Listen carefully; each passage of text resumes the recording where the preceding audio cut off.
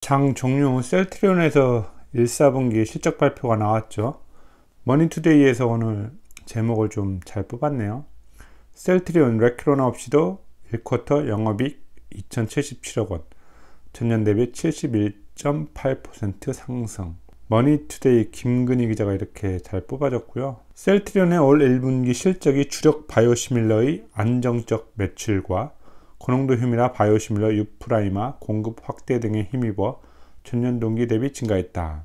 공시를 통해 1분기 영업이익 2,077억 원으로 전년 동기 대비 72.8% 증가, 매출은 4,570억 원으로 22.6% 증가했고 영업이익률은 45.4%를 기록했다. 어마어마한 수치죠. 영업이익률 45% 여러분.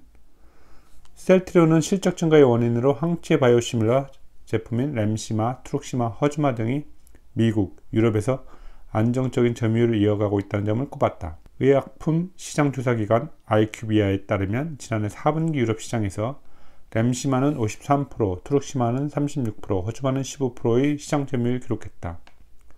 또 지난 2월 EMA로부터 판매 허가를 받은 고농도 휴미라 바이오시밀러 유플라이마의 공급이 확대되며 매출이 증가했다고 봤다. 여기에 판관비 감소와 생산 효율성 개선, 고수익 제품의 매출 확대에 따라 영업이익률이 40%대를 회복했다. 45% 장난 아니죠? 셀트리온 앞으로 성장을 이어간다는 계획이다. 회사는 2030년까지 매년 한 개 이상의 후속 제품의 허가를 받는다는 목표에 따라 결장 직장암 치료제 아바스텐의 바이오시밀러 CTP16의 허가를 연내 EMA에 신청할 예정이다.